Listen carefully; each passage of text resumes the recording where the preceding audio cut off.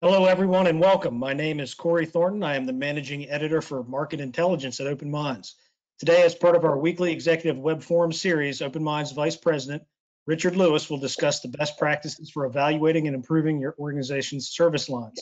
Mr. Louis has extensive experience as a behavioral health care administrator, business development, and uh, has experience in new service lines for behavioral health care organizations nationally.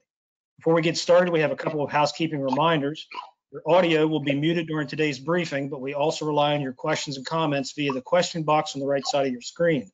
You can send in those questions throughout the briefing and Mr. Louis will answer them.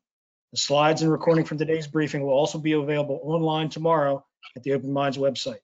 And with that, let me introduce Richard Louis. Thank you, Corey, and good morning, everybody. Um, we've got one hour to talk about uh, repurposing and developing new uh, revenue streams. I'm going to cram a lot of information uh, um, into this session and um, kind of skip through our, our, our, presentation as quickly as I can. Want to make sure we have time for questions and answers. And as Corey mentioned, you'll have access to the recording if you want to review um, review today's session. Um, today we're we're talking about uh, repurposing um, your current capabilities, your, your current service lines um, within the context of uh, um, the, the, the, COVID pandemic in, um, you know, organizations across the country um, working on sustainability planning and recovery planning. And uh, as a result of, of that, um, we'll talk a little bit about uh, uh, the value of repurposing service lines. Um, want to talk a bit about uh, revisiting your operational capabilities uh, as a foundation to building either new service lines or repurposing your service lines in um, today's um, uh, increased managed care and value-based reimbursement environment. Uh, portfolio analysis, really portfolio analysis, really talk a little bit about some of the tools that you can use um, uh, to assessing your your service lines and seeing um, you know, who are the winners, who are the losers, which are the service lines that maybe we should be thinking about uh, divesting. Uh, a bit about service line assessment.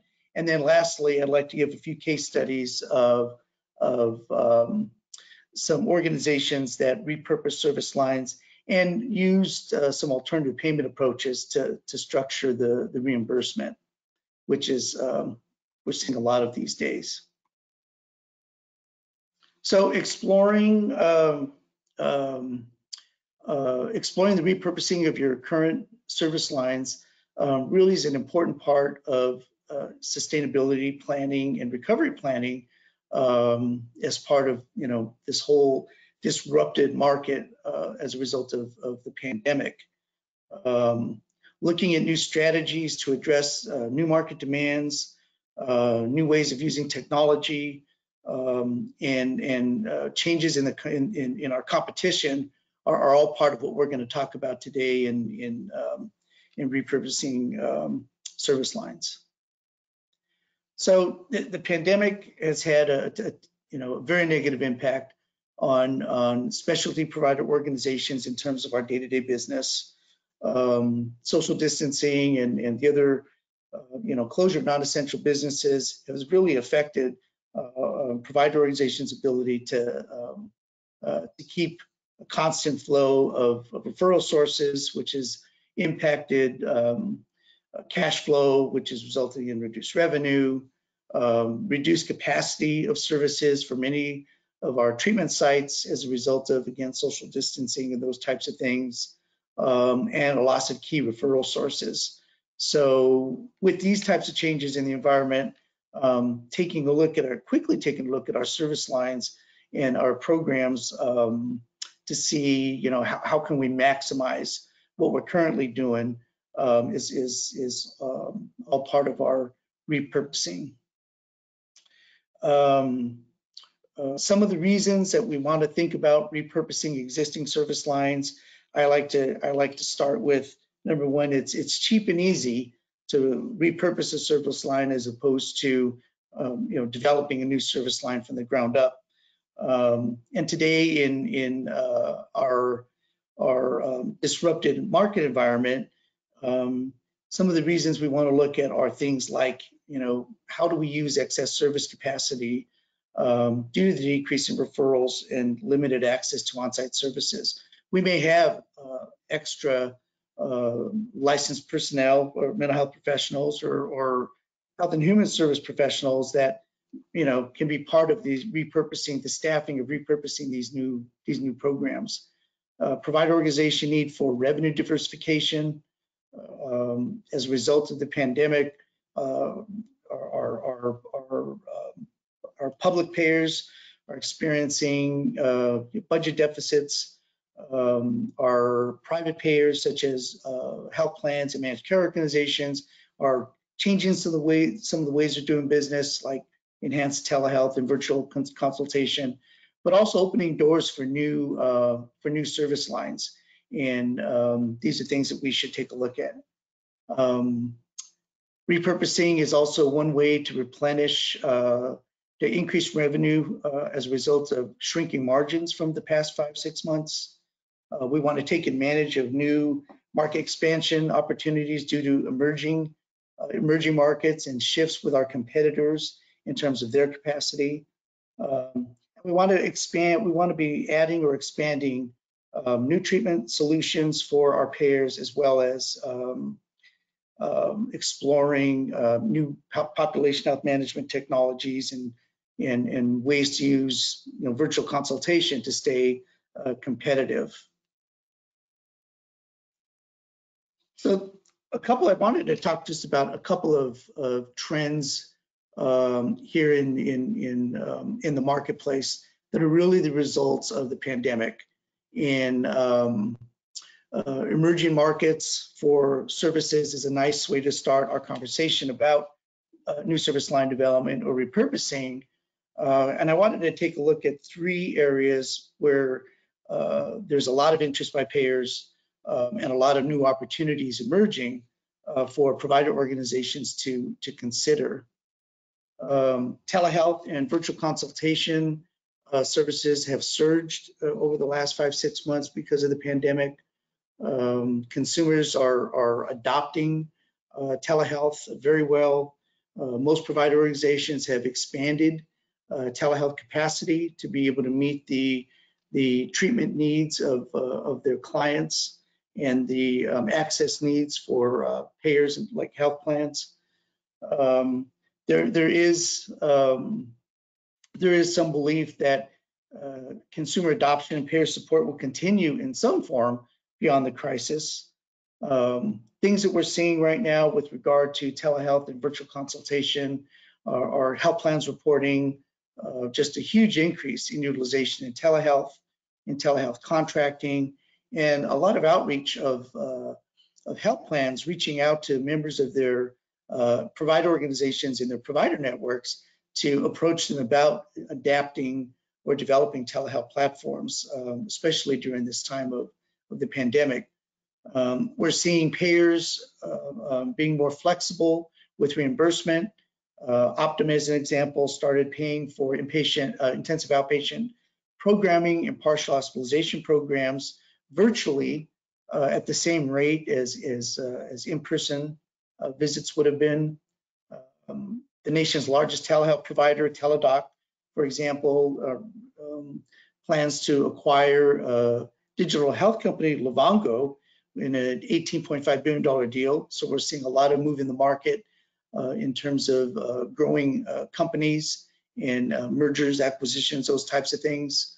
Um, Amwell and MD Live, uh, two other uh, telehealth platforms, are talking about um, going public. So we're certainly seeing a lot of um, a lot of movement in the virtual world and the telehealth world um, as a result of, of uh, our current environment. Um, there is discussion that um, telehealth will likely stay around, um, especially if it can be linked to um, improved access to care, uh, improved no-show rates, um, inc increased consumer engagement, and better uh, follow-up care. Um, we, health plans will likely continue um, in that direction with with some sort of you know telehealth and you know in-person type services. So um, one big area for um, uh, service line development or repurposing is, is certainly the, um, the telehealth and virtual consultation area. Integrated and whole person care approaches is another, um, another area. I think that um, the COVID pandemic, uh, we've seen that, you know, those folks that are uh, diagnosed with COVID ending up in the hospital are folks that have coexisting or comorbid uh, chronic uh, medical conditions. Um, you know, half of Americans suffer from many of these conditions like diabetes and, and, and you know, heart conditions. We certainly know that um, a, a, large percentage of, uh, of our consumer, our consumers with serious mental illness have at least one and oftentimes more than one uh, um, chronic medical condition. So the whole idea of developing approaches that uh, are using integrated models of care and whole person care to uh, address the, the, the, behavioral health, the physical health, the, all the different issues that, that uh, complex populations have um, is, is, where, um, is, is where payers are looking to towards now. Um, I made a note on the side that here in California, just earlier this year, um, the state released uh, funding uh, for the managed care plans to be able to work with provider organizations uh, that made eligibility uh, to, to start to develop some of the initial um, systems and platforms of integrated uh, integrated approaches in, in terms of um, assessment and, and um, treatment programs and, and, prevention and those types of things. So um, uh, something to watch as, as an area for um, new service line development. And probably one of the biggies is, is in-home treatment services. Um, the, the, pandemic has certainly, because everyone has to stay home now, has really uh, put a huge focus on treatment modalities and approaches that can be done in home. Uh, here in California, um, as a way to uh, decompress skilled nursing facilities here during the crisis, um, the California has uh, launched um, the California Medicaid Long-Term Care at Home Initiative, which actually changes the Medi-Cal benefits here for long-term care and allows folks to stay in home um, and, and, receive um, uh, many of the types of services that they would have uh, that they would have received in long-term care setting um, at home. Um, is this is this an area for um, thinking about as far as new service line development, repurposing your current um, programs. Absolutely. In this model, there is funding for um, mental health treatment for the mild to moderate level uh, of service for clients. And um, um, if you're a provider organization in California and, and you may have, uh, because of reduced capacity, um, available licensed uh, mental health professionals, for example. Um, this may be something that you want to look at as a new funding source and as a way to repurpose uh, folks and, and, and, and, and uh, move into this in-home treatment space um, as this develops here um, as a new revenue source here in California.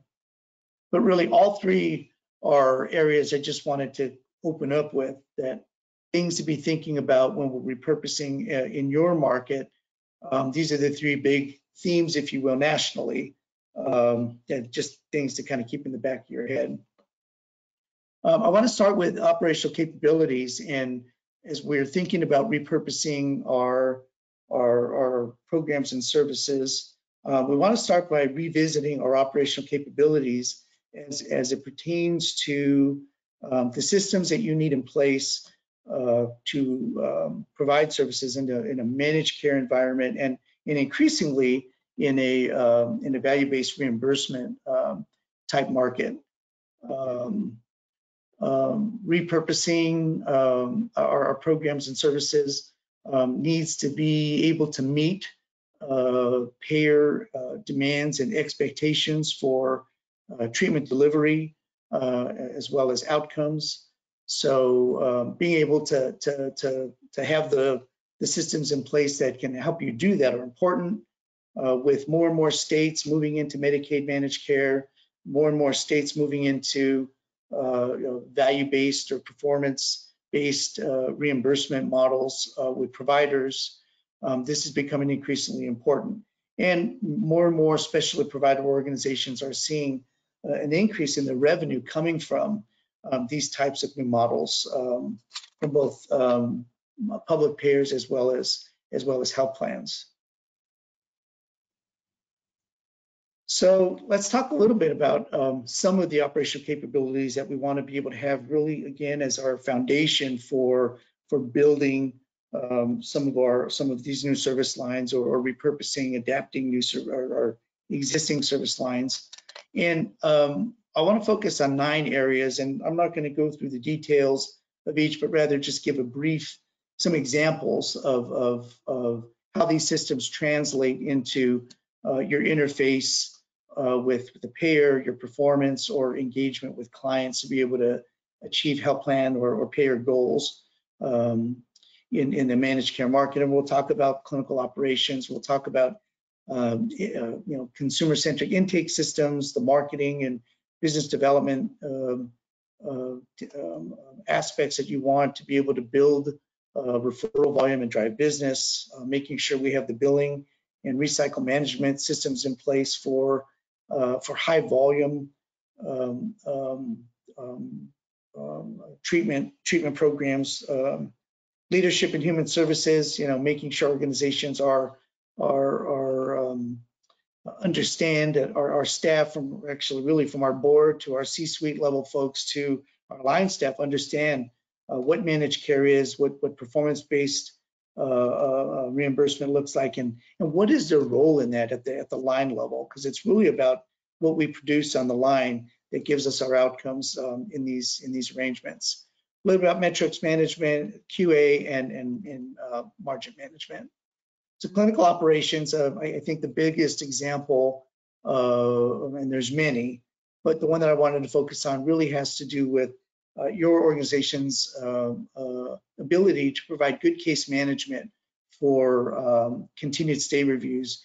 And, and in this, for this example, we use health plan with health plan care managers, um, uh, making sure that a, a, a case manager at the provider services level has been retrained and reoriented to understanding the um, the uh, goals and expectations of the health plan as a payer and what the care managers are looking for in, in successful, effective, continued stay reviews, making sure that we're giving them the, the treatment information, um, uh, discharge planning info, um, placement information, whatever it is that they're looking for um, in, in our updates that's going to get us additional days of, of care is um, is one is was really important. Um, focusing on things like relapse prevention in our concurrent stay reviews uh, is really, really important. Health plans want to know, payers want to know that uh, we're planning ahead, especially for, for folks that may have um, high incidence of hospital readmission or um, or treatment pair, treatment or frequent tr treatment failures in the outpatient setting. Um, these are the you know those providers that are addressing these types of issues in the treatment setting in working with the with the payers on solutions for ongoing treatment are, are, are the ones that um, health plans really value. Customer-centric intake and admissions, um, some examples of, of, of, things that you're going to want to have in your um, in your intake department. Um, our, our, our, our, intake and admissions department on process is critical when working with uh, with uh, managed care or VBR payers or arrangements. Um, easy access to care for clients is very, very important, making sure we have 800 numbers and, and, and um, things on our website so that folks can make referrals easily is really important. Tracking the data with regard to number of referrals and, and, and clients coming into treatment is important. We want to know, uh, and payers in many in many cases are going to want to know what our no-show rates are, uh, what our conversion rate is, and the conversion rate is uh, the rate of client that goes from assess that goes from uh, initial assessment to to treatment or from referral call to assessment. Those are numbers that are very important for us to know about, uh, for you to know about, to demonstrate um, uh, having a good, you know, front end accessible intake system for patient referrals. Business development is another um, uh, uh, aspect or another um, part of our operational systems that we need to have in place, especially right now during the time of, of the pandemic, when the market is is in chaos, when um, our everybody's been disrupted in terms of services and service capacity and, and how we're delivering care. Um, having a, a, an account manager or, or someone in your marketing team that's looking at the market right now uh, for um, uh, any kind of changes, you know, um, um, payer uh, demand for, for new types of services or changes in your services is, is important. Um, someone who's be able to participate in strategic planning and, and positioning your, your, your organization for the short term, getting through the next six months as we're entering our, our recovery planning is important. Um, competitive analysis, again, what are our competitors doing in the market right now? Um, but these types of uh, positions are really critical um, right now, but uh, are also a big part of being able to, to, um, to work within a managed care environment or a value-based reimbursement arrangement. Um, developing uh, formal pathways for referrals, uh, developing strategies to keep referral volume um, high, so our caseloads are high. Uh, um, what are some new uh, referral networks that we can develop right now to feed these types of programs? All, all come under the purview of your market and business development folks and are really, really important. Um, a couple items with regard to um, uh, revenue cycle management, and we'll talk, I'm going to give a couple examples from uh, looking at admissions and billing and, and, and, and those things. Um, having the systems in place and then making sure they're, they're, they're running properly right now uh, with regard to um, policies related to you know client registration and demographics for um, eligibility verification. Um, having in place the systems to do insurance verification is important. Uh, getting the pre-authorizations for service, um, um, self-pay fee assessment and policy collection is, is critical. Uh, policies that are in place for uh, collecting copays and deductibles. Uh, increasingly with um, health plans going more and more to more high deductible um, uh, and more copay type scenarios for beneficiaries, um, a lot of your revenue is going to be coming from those copayments and deductibles. And health plans want to see you collecting those uh, those um, uh, those copays and deductibles. So policy systems in place for that is is very important in this uh, working with with with uh, managed care. Um, billing, um, again, systems in place to be able to do um, you know electronic billing, uh, billing at least weekly is important. QA, uh, you know, some type of quality insurance that's that's monitoring uh, your key performance, you know, your key performance billing metrics, make sure that you're on on on target with whatever the whatever those goals uh, need to be. Um, and then I put a list here of just some some basic policy procedures. You probably have most of these, but if you don't, um, make a note of some of these and and make sure that these are things that you have in place. Um, um, you know, reporting is a key element of of, of billing performance and, and, tracking building performance. So um, having these things in place. And lastly, under under uh, revenue cycle manages collections, and I, I, touched on that a minute ago, but you want to be able to, to have systems in place to track your denials, um, uh, making sure that we're tracking clients that, that access service that weren't eligible or or um, you or services you provide that may not have been covered. These are things that are going to be denied, and um, and certainly things that you want to know about and re revisiting with your program folks to make sure that we're we're kind of aligned with um, um, you know with in, in these areas. And again, there's a list of some basic policies there that uh, we should be aware of um, uh, with regard to um, to collections.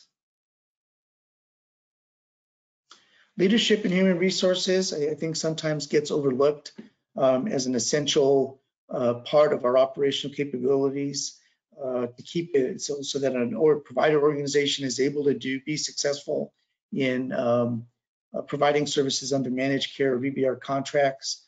Um, the idea of of um, of culture change and educating an organization, really from the board uh, down to the C-suite, down to our managers and directors, is is really important.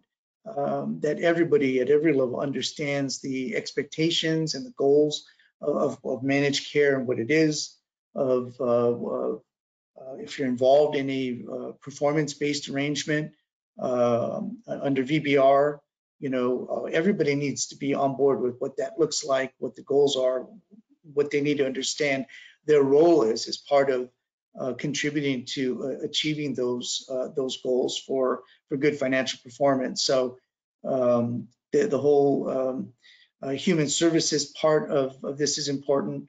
Um, we're seeing more and more uh, organizations that are involved in performance-based uh, models of care, um, making sure that even compensation packages are linked to performance all the way down to to line supervisors in some cases. So some things to think about if we want to uh, for um, for success in this environment.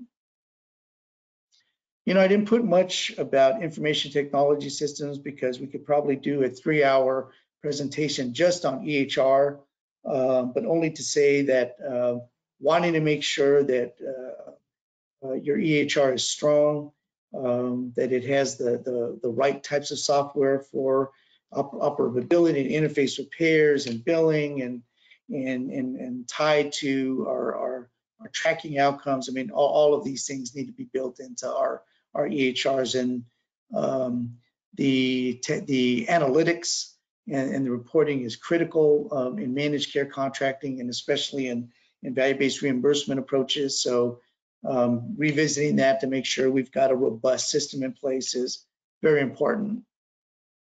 Metrics management, uh, again, these are all foundational pieces of your organization that you want in place or, or developing or, or, in the process of updating um, so we can move into more managed care and uh, uh, performance-based um, um, approaches. Uh, metric management is, is, is critical. Um, having strategic key performance indicators that track your organization's performance is important um, you have a you know a director or somebody who's in charge of of your um, uh, metrics management and your analysis and reporting, um, being able to document the clinical impact of your services, you know, generating the reporting and uh, to demonstrate good clinical outcomes, good service delivery outcomes, uh, good population health management, case management outcomes, um, um, good discharge, linkage to community outcomes. I mean, all of these are things that are are built into what um, uh, our performance-based uh, uh, contracts are, are, looking at. And, and don't forget to include um, the outcomes and related measures that your, your health plans are using. So we want to know what's important to them. And usually we're talking about HEDIS measures, um, STARS, uh, measures if we're talking about uh, Medicare populations. Uh, next is quality management and QA and um, just a few examples here, you know, in, terms of having a QA management uh, program, uh, we want to make sure that our, our, our MCO quality expectations, as I mentioned a minute ago, are incorporated and being tracked and monitored in, in your um, quality assurance programming. Um, I mentioned a minute ago HEDIS um, as, as, as, probably the, the, the, main measures that most payers are looking at right now um, in the area of, of, reducing hospital readmission and, and reducing emergency department visits. The things that are high spend for payers are the things that uh, are, are, being focused on right now. Um, and of course, that as part of your quality management program, that you're maintaining records with regard to appeals, um, and that you're able to make the corrections needed um, uh, and, and, and, modify your service delivery uh, to reduce things like denials and, and, um, and those types of things is, is very important. Margin man, margin management, I, think, I mean, I think it kind of speaks to yourself. I mean, um, uh, knowing the unit cost for each of your programs and services is very important in uh, managed care um, uh, arrangements. Um, using um, uh, cost and target margin, margin reporting um, that, that's shared with your program staff. Again, uh, it's, you know, it's our, our program folks in addition to our, our um, financial folks and our admin folks working together as a team to achieve the, the, the treatment goals, the outcomes goals that our payers are expecting. And again, when I talk about payers in, in, in today's environment, we're talking about both, you know, public payers, state Medicaid, as well as uh, private payers like health plans and managed care organizations. Um, and um, um, uh, managers a training to give uh, necessary skills to both manage costs and ensure quality. And we touched about we touched on that. So let's talk about as I'm watching our time um, a little bit. Uh, so well, let me say this. Um, our operational capabilities again are, are, are, the foundation, and the bedrock from where we start in in, um, in making sure we have robust systems in place uh, so that we can um, manage our new service lines and develop uh, new programs and services off of these off of these systems, which pretty much are, are now required by by by all payers, both public and private. Um, second to that is understanding what we do well. And, um, you know, right now, um, that's probably um, even more important uh, because of the uh, business challenges that we've had over the past five or six months because of the pandemic um, with the, um, you know, reduced referral sources, reduced cash flow, reduced margins, and all the, the things that, that have impacted us and making um, making things pretty difficult for uh, being successful at the moment. So during a crisis like this, um, what are the questions we should be asking ourselves? Um, if the changing environment, and you know, I can't see, I can't see that question here. Let me let me look at something here really quick. Um, in the current in the current changing so here's the question we should be asking ourselves in the current changing environment what service lines have a positive margin or or at least break even for us uh, what service lines have a negative margin and um, will draw down on available cash um, what service lines are critical to success after the crisis and may need stabilization and investment uh, as part of our uh, our our, um, our post-COVID recovery. And when you put these things, if you when you put these service lines together and look at them in the entirety of your organizational financial performance, if no changes are made, does the organization have enough cash to make it through the crisis period?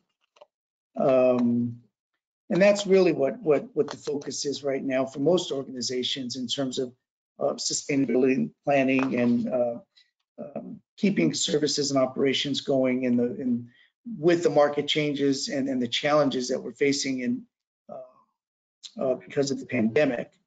Um, I thought I would share uh, as part of um, understanding what you do well and, and, really taking a look at, at your current programs and services um, at, at, at some portfolio analysis mapping. And I wanted to briefly just touch base on some of the tools that we use here at Open Minds when we're working with clients to help um, clients assess and take a real a deep dive, if you will, into um, um, you know into their current service lines and and and and um, when thinking about uh, um, um, repurposing. Um, this really is is is is something that we probably should be doing on an annual basis as part of our strategic planning process, and that is every year taking a look at how did we perform last year, which which of our programs uh, were profitable, which of our programs broke even, which programs maybe didn't do so well. Maybe those are the uh, programs that we we focus on for repurposing and, and, you know redistributing resources. So we'll talk a bit. Uh, let's look at. I'm just going to go over real quickly these four tools: um, market growth versus uh, market share um, um, uh, matrix uh, analysis, um, we'll look at competitive position versus in industry attractiveness. We're going to look at a tool that uh, looks at market risk versus uh, market reward. And then uh, the last one is mission versus profitability. Um, really a tool mainly used by um, mainly used by nonprofit providers. So market growth versus market share. In um, this is a tool used to, to plot your organization service lines by market growth. Um, it, it, it, it has four uh, different uh, quadrants, if you will, and, and, I like the names here: stars, cash cows, question marks, and dogs. You know, stars are your service lines that um, have, high, have, high, market share and, and high growth. Um, these are usually your, your, your programs and services that are are doing well um, and and are, are, are strongly positioned in the market. Um, this tool will break out uh, what, what we call cash cows, which are the service lines that have high relative market share in low uh, in low growth markets. Um, these are likely some of your core service lines that have been around for a long time. Uh, question marks are service lines where the market growth rate is high, yet your organization has a low market share um, and will require you know some some investment in in improving these. Um, these are the new service lines in development that could move to STARS category uh, with with a little investment and a little retooling. And dogs are are the service lines where your organization has low market share um, that have low market growth. And these are usually the, the these are usually the service lines that you're you want to think about um, cutting loose and, and divesting. So the market growth versus market share matrix is one tool. And again, these are just a real, uh, just bullet point aspects of what, what this looks like. But this is a, a valuable tool for, um, for taking a look at um, as, as part of portfolio analysis and looking at your, at your programs and services. Um, the competitive position versus industry attractiveness uh, tool um, has two dimensions um, that look at the attractiveness of your service line and your organization's competitive positioning. Uh, so these are really good to, to, to look at. Um, um, takes a look at your, your the size of your of your program and footprint, market positioning, um, strengths and weaknesses uh, from a from a uh, competitive perspective, and then industry attractiveness in terms of of um, of uh, um, an, an, assessment of of the field or venture um, under consideration in terms of total spending, pricing, competitive structure, profitability, um, social issues, and those types of things. So this tool really is um, uh, um, uh, is one of the three broad strategic mandates for each of your organization service lines, and, and really will help you look at um, you know the investment in capital capital that will be needed uh, to improve your market position, um, uh, hold, uh, you know, improving cash balance and generation, selective cash use, and and then making decisions on which service lines that we should be divesting because of of poor performance and drawdown on on organizational resources. Uh, market matrix versus market reward, um, market risk versus market reward. Um, this one really takes a look at uh, at four areas uh, in terms of our service lines, um, uh, service line success.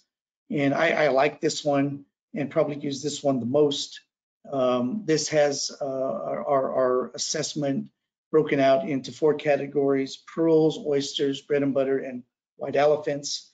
Um, your pearls are the service lines that are in development that have a high likelihood of success and are expected to yield high rewards. Um, our oysters are the speculative service lines that you believe will result in high payoff, but have a low likelihood of success. Um, uh, other services may fall under the category of, of, bread and butter. Usually, those are the services that result uh, that are the results of enhancements or modifications to current service lines. Uh, they tend to be easy to develop and have a high likelihood of success and low rewards. Um, um, these tend to be um, um, here, here the key here is to make certain that organization does not have too many of the bread and butter projects because they draw resources from uh, pearls and oysters. And lastly is our white elephants are the low success, low reward uh, projects. Uh, most organizations have a few of these that they find hard to eliminate. Uh, I think uh, right now, especially during um, during these challenging times, um, reallocating, you know, looking at these kind of programs to reallocate resources into repurposing and new service line development for uh, the new opportunities in the market is is is a good place to draw uh, is a good place to draw resources from to to do that. Mission and profitability. Um, this tool is used mostly by nonprofit organizations, uh, both behavioral health and social service um, agencies. And the, the, tool displays organizations, uh, your service lines based on the ability to cover costs or profitability and the compatibility with your mission. Um, you know, these are, are, are, two of the areas that um, this program, will, this uh, matrix will, will lay out for you um, um, again, we, the, the, whole goal here is uh, in this model is to identify areas where we can improve financial performance um, and, and, and, improve cost effectiveness in our service lines in our in our um, nonprofit uh, uh, um, organizations um, and how to uh, and funding the service line deficit with donations or profits from other service lines reducing the scope of size of the service line are all ways to um, to do that. And the last one is the low mission compatibility, low profit, uh, which is the product lines that lose money. Again, those would be our white elephants, if you will, from our previous uh, our previous tool. Uh, but another one other tool to look at for um, taking a look at uh, at our services and, and, and trying to come up with um, ways to address um, new service line development or, or repurposing. So we'll talk a little bit, we've talked a little bit about um, some of the big areas uh, where we're seeing growth, telehealth, um, whole person care models, integrated care models, um, um and in-home services. We've talked about the uh, um, the operational systems that you really want to have in place to be able to build off and create uh, new service lines that are addressing new needs, new, new opportunities in the market, or, re, or, or, um, or, repurposing.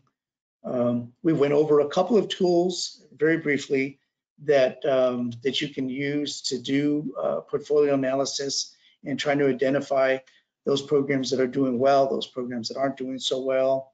Um, and so now I want to talk a little bit about uh, service line about doing um, service line assessments.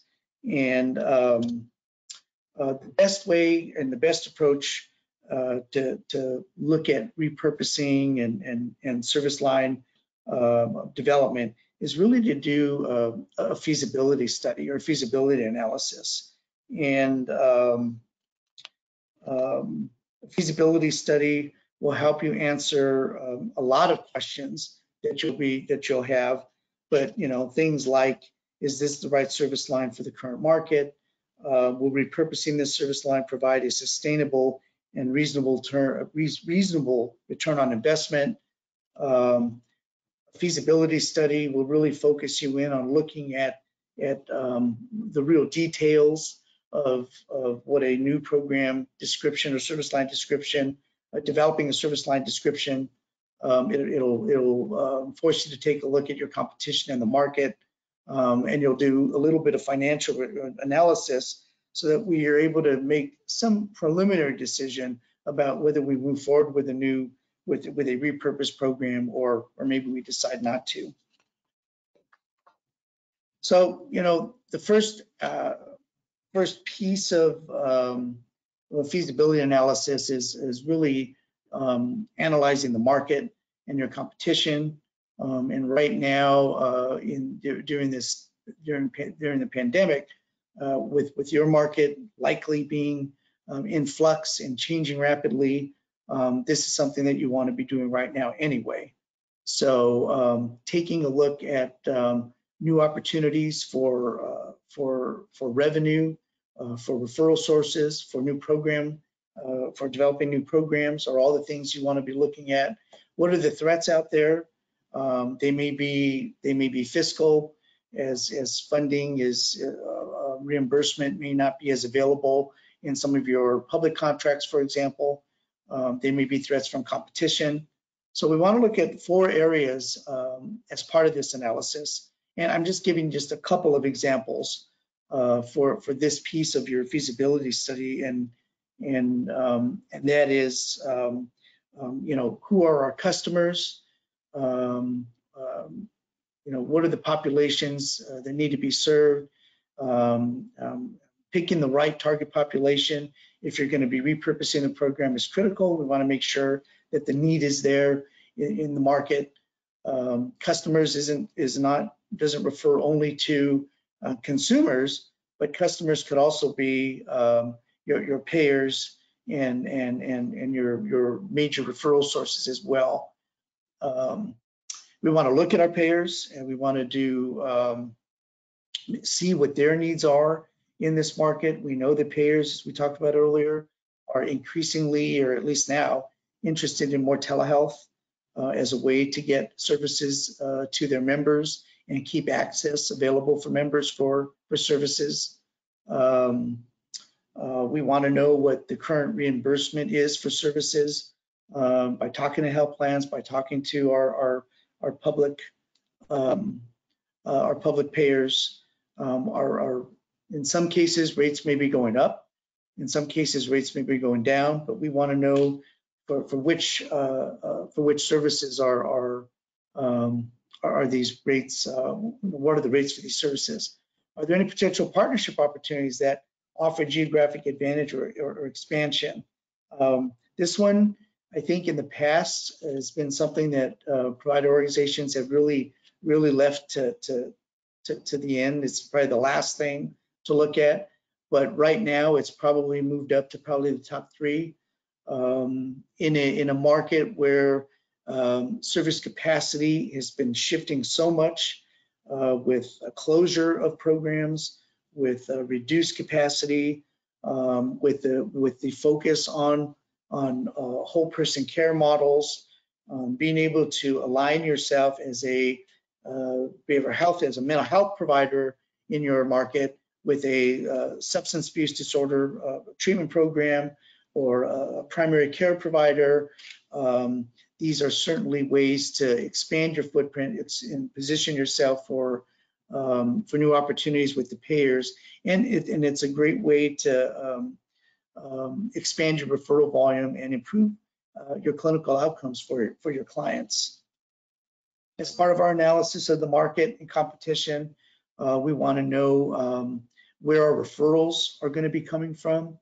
Um, we don't want to build a program or, or um, um, repurpose a program that um, the real, just the referrals just aren't out there, or maybe because of the pandemic, um, there are just too many barriers for getting referrals to your program because of of, of, of social distancing and, and and and lack of ability for for one-to-one um, engagement with clients and those types of things um, are, really important. And, and we mentioned before competition. Who are your competitors? What's going on with your competitors? Who's closing? Who's expanding? Who's, who's merging or creating strategic alliances in your market? All of these are things that you're going to want to look at um, as part of your uh, planning and, and, and, and preparation for looking at, you know, developing your new service line um, or repurposing an existing one. So redefining uh, re redefining your service line is um, is very important, especially when we're looking at um, uh, well, whether we're doing a, a, new service line or you're repurposing a service line. Um, redefining it um, from an operational standpoint in terms of um, developing a detailed description operationally of the program um, is, is important. Um, using the findings from our market analysis we just talked about uh, with regard to what the payers are looking for, what are the target treatment populations, um, um, how are, who, where are the referrals going to come from, how are we going to generate those referrals, um, who will be our target um, referral sources, are, are, things that we want to start talking about in, the, in our operational description. Uh, we want to address pricing. Um, and come up with some kind of a, a preliminary payment structure for the new service line so that we're we're starting to look at um, what are the resources that we're going to are going to be needed, and um, um, um, you know, how do we price this so that we're we're in line with what payers are willing to to pay or may be interested in paying. And lastly, identifying the marketing resources needed to launch and grow a new service line. Um, again, this goes back to our, our discussion about marketing, business development, um, having a plan in place before you launch a repurposed service line is critical and making sure we know where referral sources are come from, how we're going to generate those referrals, the referral sources, what we anticipate volume to be so that we can um, uh, be at census levels that are going to be viable and that work for us are, are, are part of our operational description. Um, a financial analysis is, is, is certainly critical. And again, um, at this stage of the game, in this phase of a feasibility uh, analysis, these are, are, are fairly uh, preliminary um, deep dives into the things that we're talking about. Um, um, the, financial analysis, as you can imagine, is, is, is critical in, um, in this process. Um, being able to um, um, be able to look at um, the basic organizational structure structure of your new program from a financial perspective in terms of, of staffing and, and and and what the cost is going to be to, to operate this this new service line will be part of your your analysis.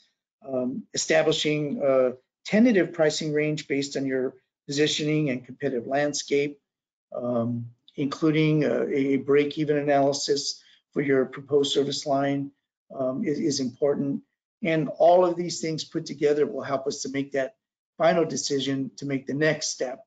Um, you know, should we move forward with repurposing this program or does this, you know, there are just too many holes in our plan here that this just doesn't make sense. Uh, if the decision to move forward is a yes, it's a go, um, then moving on to your next steps, which are much more detailed um, program, service line design, uh, and development uh, would be the next phase. And then um, putting together a very detailed um, um, uh, program launch uh, plan um, that includes timelines and, and resources and, and all those things is, is important. So lastly, um, I wanted to do a couple of case studies in um, looking at uh, some provider scenarios where um, they repurposed, where they repurposed service lines, but also included alternative uh, payment approaches. Because I think what you'll find right now is you're um, marketing or pitching a, a new service line or a, a repurposed you know, program is that um, some aspect of, of, of uh, value-based reimbursement or, a performance-based uh, component is likely going to be included. And actually, you, you want that to be included um, as, as you're moving forward.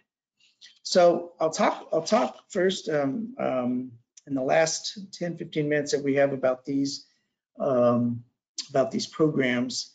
And um, the first case study is a uh, community-based mental health provider that uh, repurposed their, their case management, uh, field-based case management capability uh, to address um, the needs of a payer, in this case, uh, Kaiser Permanente.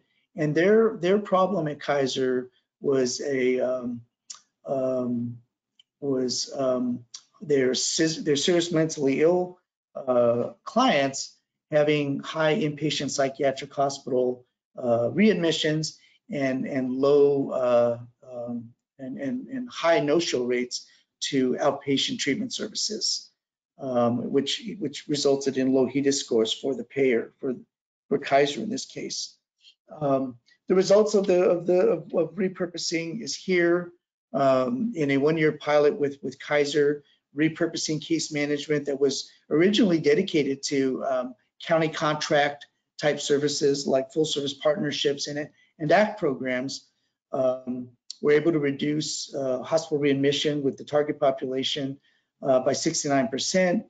Um, they improved um, linkage to uh, treatment post-hospital discharge Um, the goal was seven to 10 days. And I think in this, in this uh, example, they were able to get clients seen by a psychiatrist, a therapist, or a primary care doc within three to seven days of discharge. Um, so for the health plan, um, aside from the, the improved clinical outcomes, the reduction in the cost for um, uh, for um, uh, hospital readmissions and ED visits, um, they benefited from improved HEDIS scores for a health plan that's critical. And in this case, they improved this this program was able to improve Kaiser's um, uh, the HEDIS the HEDIS scores for reduced hospital admissions, ED visits, and for improved um, linkage post-hospital discharge to licensed folks. The, the, the interesting thing about this program is that it was completely done on a um, uh, case rate model. This was uh, not fee for service, your traditional fee for service model. And uh, we're able to do a per member per month arrangement, um, a, a higher rate for the initial couple of months while a client may be in this program due to high uh, acuity, and then a lower rate as clients stabilized um, in, in, this model. So a good example of, again, repurposing, in this case, um, case field-based case management capability to uh, meet the need of a pair and, and, and repurpose a service line that resulted in a, a new revenue source. Our second case study is a children's services provider and, and somewhat similar to the last one in that um, this children's service provider uh, um, was able to, again, in this case, repurpose um, field-based wraparound services that they were providing, um, actually here in Los Angeles County, um, to be able to um, participate in the new Blue Promise Medi-Cal Health Homes program um, that, that, was launched here, I think it was last year, um, um, for uh, Medi-Cal beneficiaries and repurposed, you know, as, as, as, as uh, their field-based care management folks or experts and working with complex um, uh, clients and families, um, they were able to, to meet the case management uh, needs uh, for Blue Promise um, in providing the care coordination for uh, health plan members, both on the physical health side as well as on the behavioral health side, working with the with the health home. And um, again, uh, using an alternative based, an alternative payment model. Um, this was a three-tiered compensation structure where um, the provider was reimbursed um, a one-time payment for the initial member engagement, um, uh, per member per month for providing the case management services, and then a, a quarterly performance-based payment, uh, again, per member per month, if they were able to meet certain goals for, um, for the plan.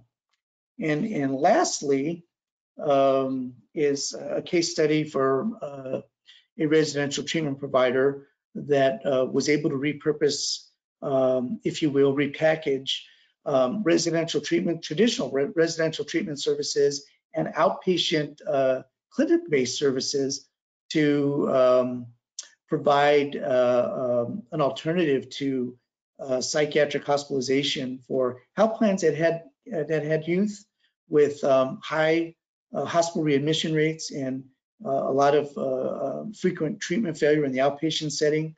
And this program, similar to the Kaiser model, was able to address some of the HEDIS scores uh, issues that the pair was having with this population.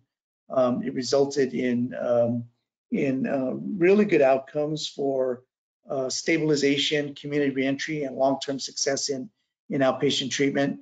The model, uh, this was kind of a hybrid um, fee-for-service uh, reimbursement for the residential component, but a tiered uh, case rate approach for the outpatient treatment so that case management could be included, which is critical in, in keeping, um, you know, high-risk populations, complex folks um, stable in the community.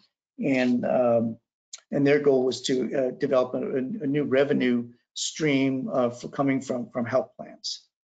So with that, I'm, I'm trying to time this just right. I don't know we have, uh, where we're at, Corey, with with our time and and questions but we're at that stage uh, of our presentation. We're we're open to questions. All right, thanks, Richard. I do have a couple questions here. Uh, Let's see, uh, the first one from John. If we're going to look at the trends that you presented earlier in the session, telehealth in-home or integrated care, how fast is fast enough or too fast when developing a new service line? Um, well, I mean, uh, um, I think the answer is, um, the, the quicker the better right now. I mean, depending on your situation in the market that you're in. But, um, it really, I mean, it really has to do with how quickly you can pivot and, and, and move into a new, uh, into one of those new market spaces we just talked about. Um, um, a lot of the, um, the timeline here for repurposing your service line will, will definitely uh, rely on, um, on um, your payers and, and, and the contracts that you're able to, to either, um, um, the, the new contracts you're able to develop or the, or, or being able to renegotiate contracts for these new services and rates. And then lastly is, is um, how quickly can we drive referrals to this new process? So, um, you know, how fast is it fast enough? I think uh, for an organization that's looking for a new revenue opportunity, uh, places to uh, new revenue streams, ways to increase revenue, um, and and and um, um, use you know unused capacity. I think the quicker the better.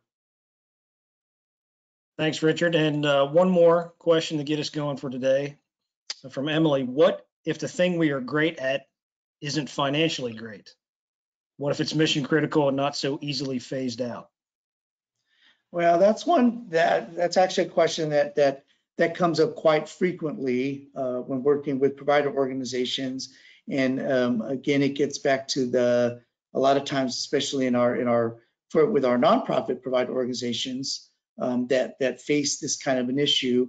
Um, um, you know, if it's not financially viable, I think right now, um, when things are so tight in terms of budgets and reimbursement and, and, and all the things that are COVID related, um, I think we need to take a real serious look at those programs and, and re, reallocating those resources possibly to strengthening more uh, uh, more successful service lines or, or repurposing uh, an existing service line. Um, the, the mission critical, um, I understand that, um, but I think the, the mission uh, that's most critical right now for provider organizations is staying viable and, and staying open, operating, and, and continuing to, um, you know, to do well in their market. Okay, Richard, I want to thank you, and I want to thank everybody else for joining us today. And I want to remind everyone that the slides and recording for this will be available on the Open Minds website tomorrow. And that we will be back next Thursday at 1 p.m. Eastern for the web forum process engineering, how to streamline your operations while maintain, maintaining a great consumer experience. And with that, thank you again, Richard, and see you all next week. Bye-bye.